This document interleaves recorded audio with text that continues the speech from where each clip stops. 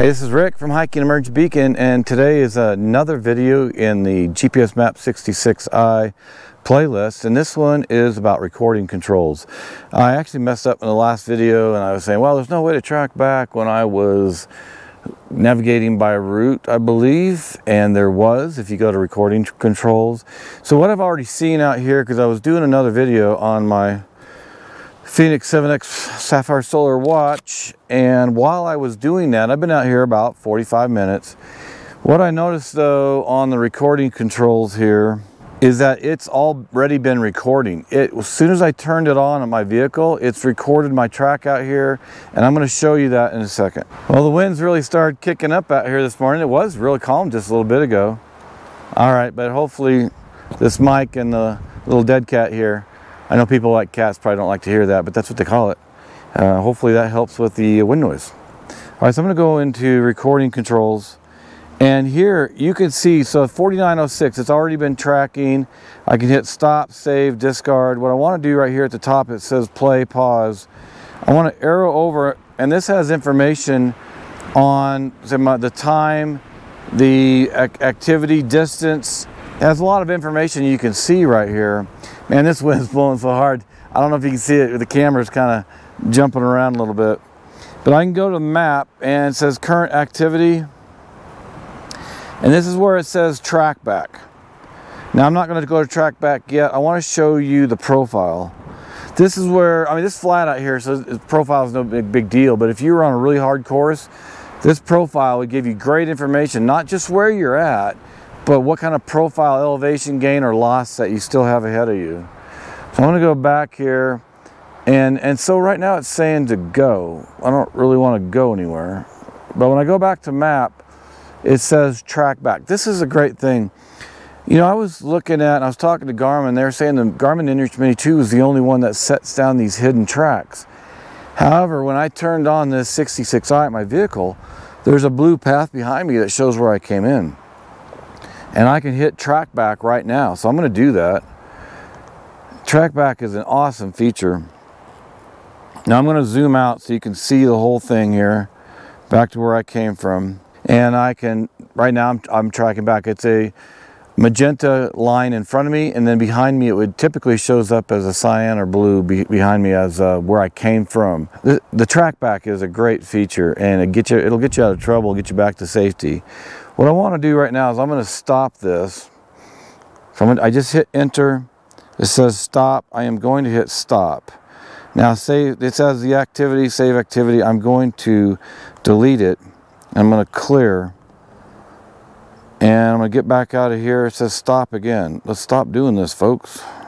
Okay, so another way to stop navigation is if you just hit the menu button once and you're in, you're navigating, you're tracking back, it says stop navigation, map setup. So I'm gonna hit stop navigation. So now the screen shows no course. What I wanna do real quick here is I wanna set a course on the 66i and it just be some waypoints around here. And then we're going to do a, a quick little hike. I probably won't even hike the whole thing. I wanna show you how it works and then how I can then hit the recording controls and track back uh, and, and, just show you what really happens with this. It's really powerful. You really need to get out and test this to really understand and know what it does like I'm doing right now. So we're going to go here create a course. So I'm going to go into the menu and I'm going to go to course planner. Now there's a route planner also. That's not what I want. I did the, I, am using course planner now than uh, more than route planner. Uh, in fact, I'm not even using route planner anymore. So I'm going to go, going to go into course planner I'm going to create course. Now it says select first point. Now honestly this is easier to do with the, the app on my phone but I just want to show you how you do it here. So now it's saying use map. So I'm going to go ahead and use the map and I always put a waypoint down right where I'm at. So I'm going to follow my the route through the trees here. Now I really want to see this on the aerial so uh, I've got the bird's eye view. I'm going to turn bird's eye on real quick. If you want to know how to do all that, you go to your menu, you go to setup and go to map. And under map, there's conf uh, configure maps. So under configure maps, Then I've got Bird's Eye already set up. I've already downloaded maps out here. I also have HuntView. If you want to know anything about HuntView, you check this, uh, this hit the top right button here when it shows up here. Uh, that pops up on the screen and it'll take you to a recent video I've done on HuntView. It's great. So right now I'm just going to go down to Bird's Eye satellite imagery and I'm going to turn it on. And I'm going to just say normal, enable normal. So now when I go back to my maps, now I've got the aerial. So again, I'm going to go back into the course planner and create course, then select first point and use map. So now in this case, now I'm going to zoom in here because there are trees here and there's ways through the trees. So I, I want to create this course as like I'm going through the, the, the clear areas. I'm going to put down use right here where I put my, my, my where I'm currently at. So I, I added the first course the point. Now, in this case here, it's easier on the phone, as I said, because all you have to do is tap. Here I have to arrow. I've got to arrow over, over, kind of where I think the path is through the trees. Now it shows a second point, and I'm going to hit use, point added to course, and then I'm going to keep doing this. I'm going to keep arrowing to where I believe I want to go on this course. And again, I hit use. I'm just going to keep going around uh, around this forest right here. It's a small area, it's not a big area, but it shows you, it'll give you an idea of uh, how, to, how to do this. All right, and I'm almost back to the start here, so I'm not gonna go right over my location, I'm just gonna get close to it. Point added to course. Now I'm going to hit quit. And all the, all the points show up, and it, I can now go over here and say review. So when I hit review, it shows me the course. Now I can zoom out to see more of it like I just did. I'm going to quit that and then I'm going to go hit done.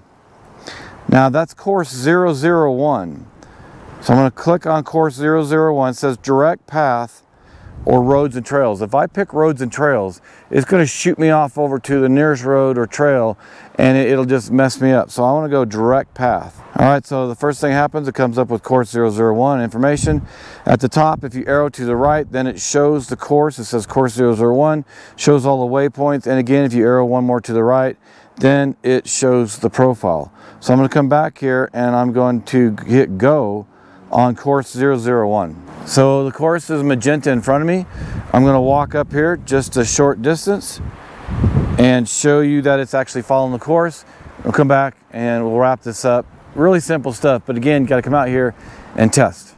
Okay, you can see here as I was doing this short little 75 yards or 100 yard hike, uh, you can see I was I was wrong on where I set the course.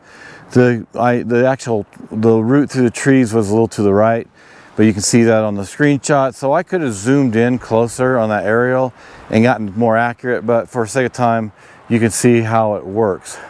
Now here what I want to show you is you go down to recording controls and I hit on that and it says current activity. I went a distance of 498 feet and again there's track back. Here's the profile where I went on the profile and the information didn't go very far, wasn't didn't take that long and I can stop, save or discard. Again, I'm going to go back over here to the current activity and if I say track back, since I started right here, it should basically tell me I'm done. But uh, I've hit the track back and you know I'm back at start. So I just, here this it's really simple. I say it's simple, and it is.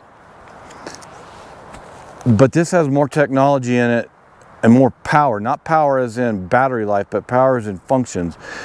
It has more than I've ever seen. Now the the Montana 700, 750i the the tread series they may be more powerful i still have to yet to get those two and test them but of these for hiking this is the most powerful but as i've been breaking it down in this playlist you can see how it works in each condition or situation.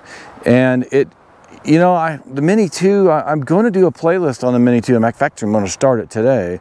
And i'm going to run through all the things the mini 2 does. But having this 66i right now, you know, other than the battery life being an issue, uh, it might be my number one satellite communicator now. We'll see. This is tough love with these satellite communicators. Uh, do I really need to pick one? Probably not. I just use them for how I want to go out. I will say, when I was talking to Garmin about this, I was saying that, you know, this is probably more for longer outdoor adventures because of all the power and things it has. They disagreed with me, this particular uh, tech.